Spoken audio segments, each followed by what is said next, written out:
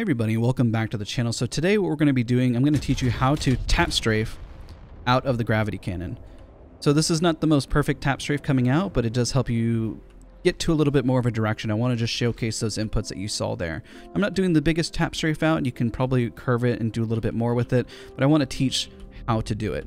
The biggest thing is that whenever you walk into the gravity cannon, you're going to see it do that. You want to be able to jump right before. I kind of think of this like a delayed tap strafe, if you will, and I have the inputs on the upper left so you can see what I'm pressing there.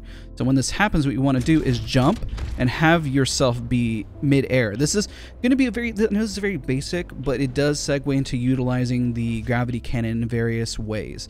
Now when you do this, whenever you jump right immediately afterwards, you need to press the direction you want to go.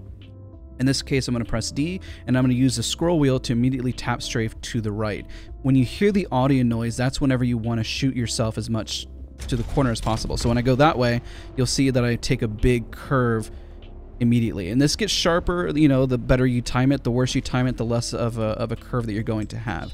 I know this isn't the longest video, but there's a lot that you can do with this, and the reason why I have Loba here specifically um, that can help. I know you can double tap strafe out with a jump pad as well, and it all matters whenever you press jump and you're mid-air. What you're doing is you're essentially tricking the game into thinking what placement you are because you're mid-air, which can really, really help you out. This helps with horizon. This can help whenever you're trying to hit a specific geometry to slide, which you can cover in a guide as well. But again, if you find any of this helpful, don't forget to leave a like, comment, and subscribe. I know this is very basic, but it can really help you out in terms of what you're doing. So an example, let's say you jump and then tap strafe, and then you want to even get any even further in terms of an angle and then throw your bracelet or whatever legend you're using it can really help you get to different angles just to be sure to not get caught out.